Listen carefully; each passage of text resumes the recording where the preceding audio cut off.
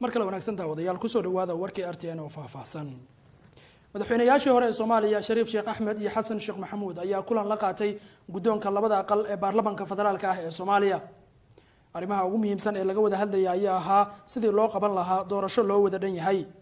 Kulanka madaxda madasha ay la qaateen gudoomiyaha golaha shacabka maxamed mursal sheekh cabdiraxmaan iyo sidoo kale guddoonka aqalka sare ee baarlamanka soomaaliya cabdi xaashi cabdulaahi ayaa ilo ku dhodhow kulankaasi waxay sheegayaan inay u gudbiyeen gudoomiye mursal fariin ku aadan mowqifkooda madasha ee ku aadan doorashada iyagoo ka dalbaday gudoomiyaha inuu fariintaasi gaarsiiye madaxweynaha.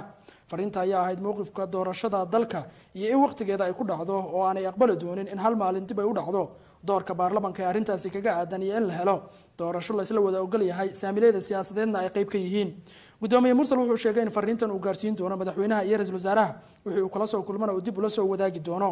Inta uu socday kulanka madaxweynayaashii hore iyo gudoomiye mursal ayaa waxaa sidoo kale kulamo gaargaara yeeshay qaar ka mid a mas'uuliyiinta xisbiga mas'uuliyiinta madasha iyo sida oo kale guddoonka aqalka sare iyo xildhibaano kale oo ka tirsan baarlamanka federaalka ah ee soomaaliya.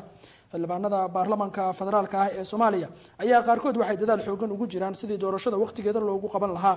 Madaxweyne farmaajo ayaana la sheegay in uu horey u shaaciyey in doorasho qof iyo coda wadanka ay ka dhacayso taas oo ay u muuqato in madaxda asxaabta mucaaradku aysan ku qanacsanayn waqtigan iyo qaabka doorashada